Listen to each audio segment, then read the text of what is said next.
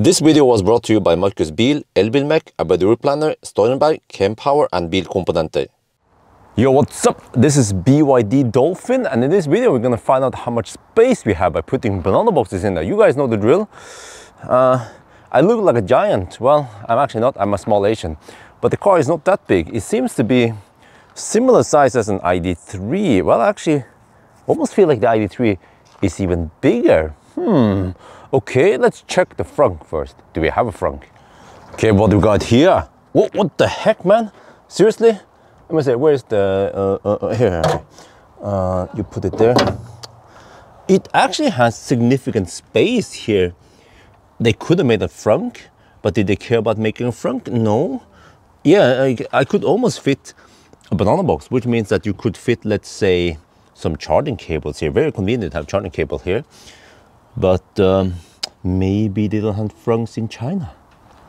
And in the back, we don't have motorized liftgate, just manual liftgate. So here we have a lid. We can open lid and that frees up a lot of space. Wow. But the car is short, so that means that the trunk will be a bit shallow, yeah. But still, okay, look at this.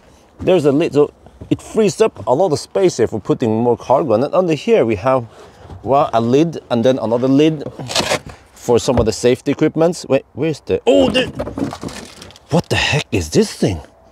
And it's in plastic, as, as if I've never been used before. Okay, and then you just put it back. Wait, this is just Velcro, okay, like that, okay. And then this, what is this, huh? Reflective vest. What the heck is that for? Just put it there. Okay, so now let's fill the trunk. Wait, let me check something here. Does this have alternate angles? Let me try.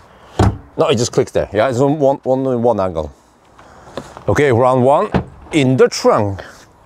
It has a slight slope, but it's shallow, so this is all I can do. We have one, two, three, four, five. Well, uh, it's more than some of the expensive luxury cars like a BMW. oh, okay, whatever. But uh, now let's follow the seat and try again. As usual, we try to put as many boxes as possible in here. And you see the more common layout, which seems to work the best for getting as many boxes as possible in there. And then here we have glass roof, so we can utilize some of the space there. That's very nice. Okay, as usual, we're gonna turn up the pitch, but we will count in Thai. One, two, three, four, five, six, seven, eight,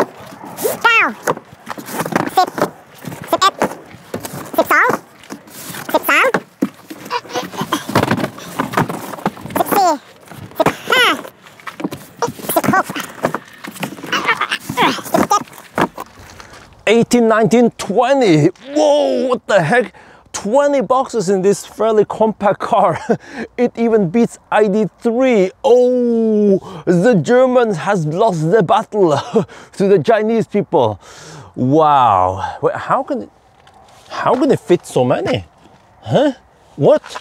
Maybe I'm getting better at packing. Maybe the banana boxes they shrink over time because every time I push them, they just eh, eh, eh, no, no, I think that's not how it works. So I don't know, but 20 boxes, that is quite legit. okay, anyway, I think that's gonna be it for now. Hope you guys enjoyed this video. As always, thank you for watching and talk to you later. And you can disqualify me in the comment section then and tell me why.